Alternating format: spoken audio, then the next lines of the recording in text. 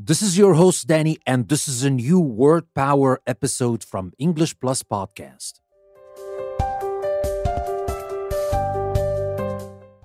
Today's episode is a word power episode, so we're going to learn 10 new words in context. And our context for today is the surrender speech of Chief Joseph. Now, before we start talking about this, I have great news I would like to share with you.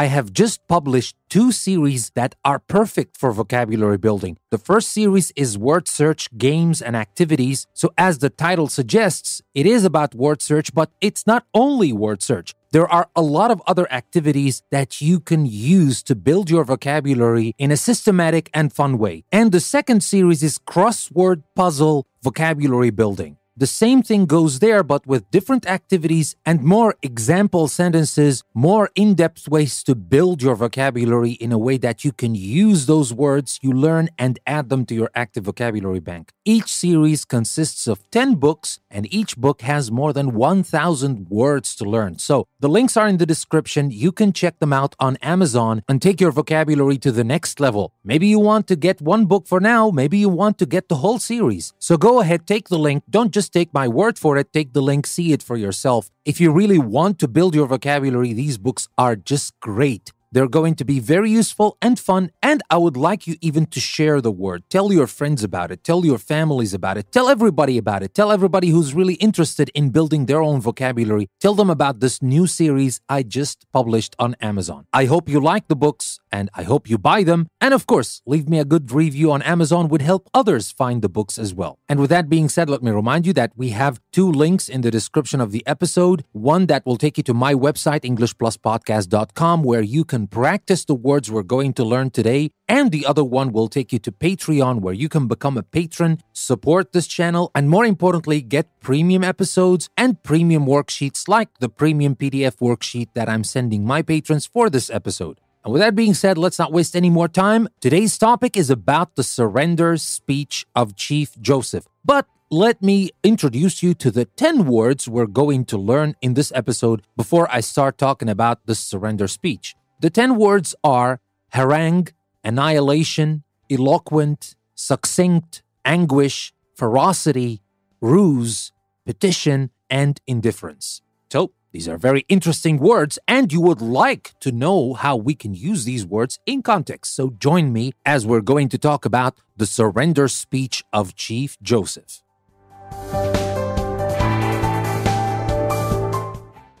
It has been called the outstanding example of Native American oratory.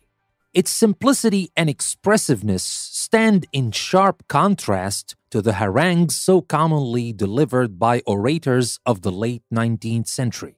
Chief Joseph had led hundreds of Nez Perce men, women, and children on a 1,500 mile trek over mountains and rivers in the winter of 1877. Driven from their home along the Snake River, these native inhabitants of present day Idaho and Oregon sought the safety of Canada. However, just a few miles from the Canadian border, the Nez Perce were attacked by United States troops led by General Nelson Appleton Miles.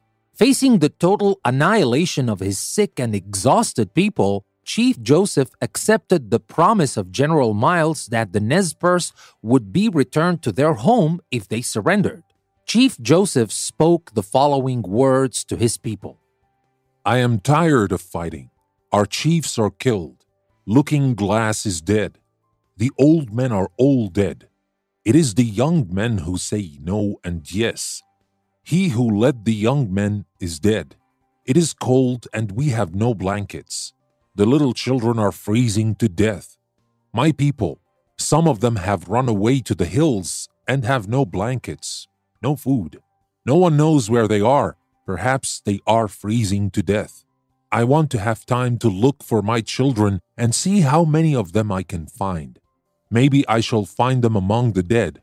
Hear me, my chiefs. I am tired. My heart is sad and sick.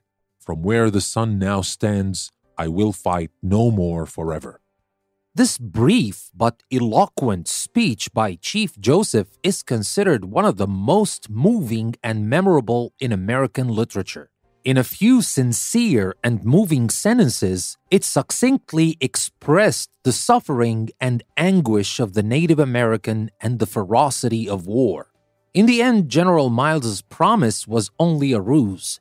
Chief Joseph and the surviving Nez Perce were not allowed to return. Until his death in 1904, Chief Joseph petitioned the U.S. government repeatedly to allow the Nez Perce to return to their ancestral home, but his pleas were met with indifference. The Nez Perce never saw their home again. So, this was our story. I will have to say the sad story of the Nez Perce and Chief Joseph, and obviously, we were talking about his surrender speech. Let me remind you again the words we're going to learn in this context are harangue, trek, annihilation, eloquent, succinct, anguish, ferocity, ruse, petition, and indifference. So don't go away. We're going to talk about these words and their meaning in context.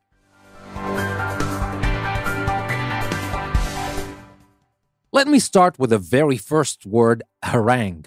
H A R A N G U E. Harangue. What does that mean? But first, before what it means, let's know how we use that in context. We said its simplicity, we're talking about Chief Joseph's speech, its simplicity and expressiveness stand in sharp contrast to the harangues so commonly delivered by orators of the late 19th century. So, what is the meaning of harangue? A harangue actually is a long, forceful speech that someone makes to try and persuade other people to accept their opinions. So the harangue was so different, was actually the opposite of Chief Joseph's speech. Chief Joseph's speech was short, to the point, and we'll get to this word succinct very soon. So that was our first word, harangue. And then we talked about the word trek, T R E K, trek. What does that mean? Let's see how we use it in context first. We said Chief Joseph had led hundreds of Nez Perce men, women, and children on a 1500 mile trek over mountains and rivers in the winter of 1877.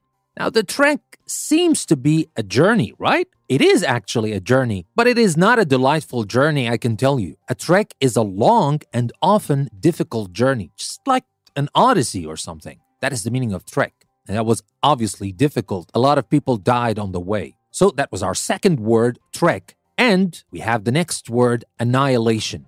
A N N I H I L A T I O N. Annihilation.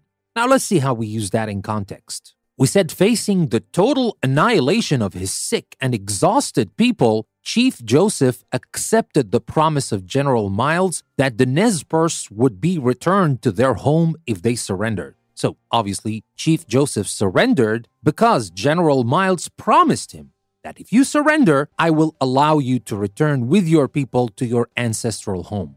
Unfortunately, General Miles was lying, but Chief Joseph, facing the annihilation of his sick and exhausted people, had no choice. What is the meaning of annihilation here? Annihilation is the act of total destruction. He was facing the US Army and he was no match. The people were sick, were tired, were exhausted. A lot of them died along the way or in battles earlier. He didn't have enough strength to stand and fight. So, facing the total annihilation, the total destruction of his own people, Chief Joseph surrendered. So, that was our word annihilation. And you listen to this very short but eloquent speech. And that is our very next word, eloquent. E L O Q U E N T, eloquent. Let's see how we use that in context. We said this brief but eloquent speech by Chief Joseph is considered one of the most moving and memorable in American literature.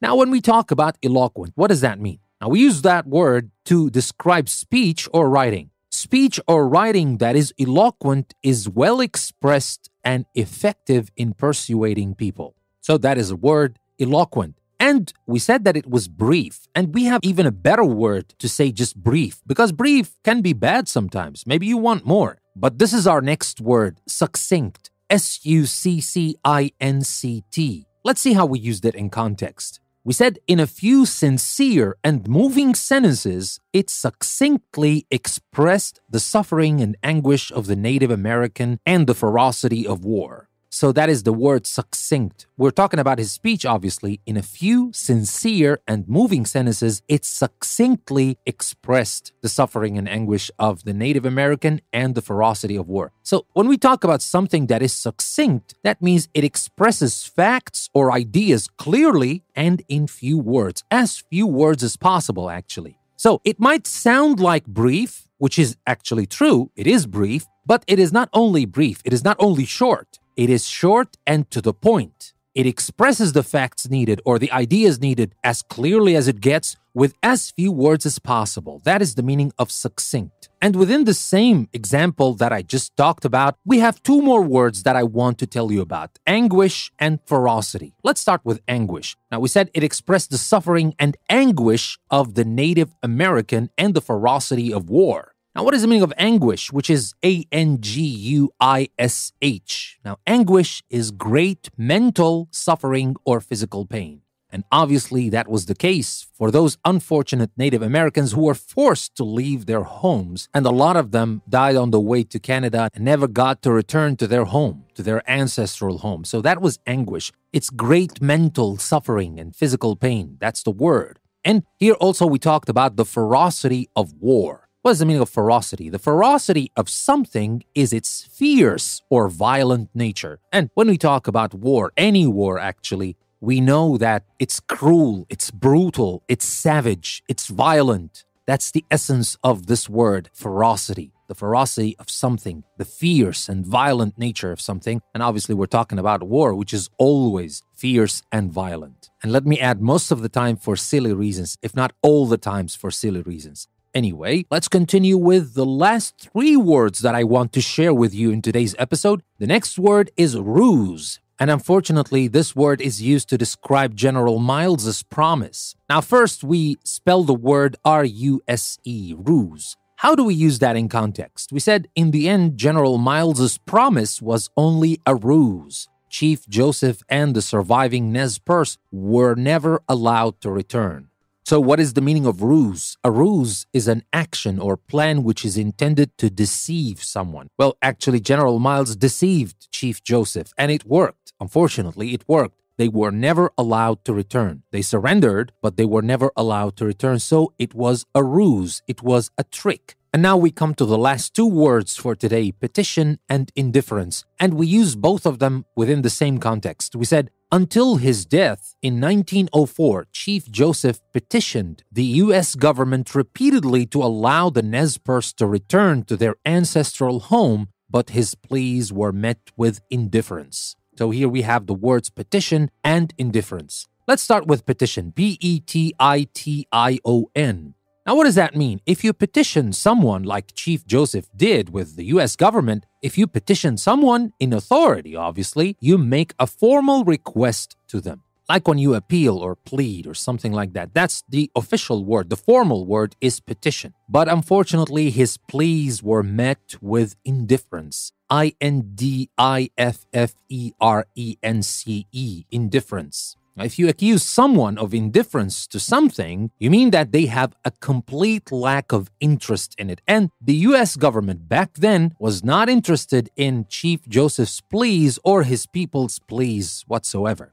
So, these were our 10 words. Let me remind you again the words were harangue, trek, annihilation, eloquent, succinct, anguish, ferocity, ruse, petition, and indifference. These are 10 interesting words that you can add to your own active vocabulary bank. And to do that, don't forget, there's a link in the description that will take you to my website, EnglishPlusPodcast.com, where you can practice these words. Because remember, the only way to keep these words in your active vocabulary bank, to remember these words forever, is to practice. It's not enough to listen to me. Well, it's great that you're still listening to the episode. I do appreciate that. But trust me, it is not enough. You will not remember these words forever. You will forget them very soon if you don't practice. And there is also extra practice for my patrons my patrons will also receive the PDF practice worksheet that doesn't only have practice for this episode, but also revision for the previous episode. So I will even take it a step further and I will help you remember the words that you even learned earlier. So become a patron and make sure you receive this PDF practice worksheet every time we have a Word Power episode on English Plus. And one more thing, don't forget about the books I just told you about. The links are in the description to the two series I just published on Amazon. Let me remind you again the first one is word search games and activities, and the second one is crossword puzzles vocabulary building. Each series has 10 books, and each book has a thousand words or more to learn in a systematic but fun way nonetheless. So take the links and just see the books for yourselves, and maybe you can buy one of them or more. And now Christmas is coming soon, so you might want to buy them and send them as a gift to someone who's really interested, who loves word puzzles, games, and at the same time, vocabulary building. Now, with that being said, that will be everything for today's episode. But just let me say one more thing about the Nez Perce, because I understand some people say it in the old French way, which is actually a French word. It's the Nez Perce, that's how we say it in English, but originally the name is is French. The French said that about the Nez Perce people, and actually it's a French word which is nez percé, which means pierced nose. So that is just for your information, and for some people who might say that no, it is not pronounced as Nez Perce, it is nez percé. Well, whether you pronounce it as nez percé, the French pronunciation, or the English one, Nez Perce, the most important thing is not about how we pronounce that, but the tragedy that happened to these people. And of course, today we talked about this great speech, sad but great speech by Chief Joseph, and the words we learned, of course. Now, with that being said, this is your host, Danny. I would like to thank you very much for listening to another episode from English Plus Podcast. I will see you next time.